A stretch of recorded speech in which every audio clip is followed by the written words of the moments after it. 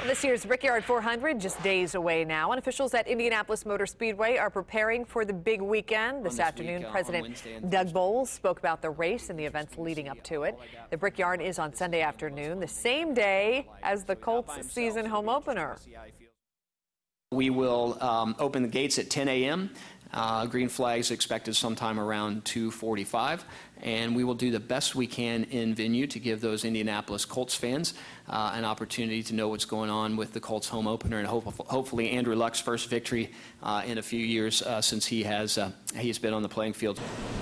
Other events leading up to Sunday's race include the Driven to Save Lives BC 39 race that takes place Thursday night.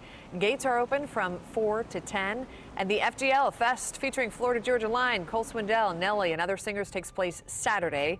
Gates then are open from 2 to 11 p.m.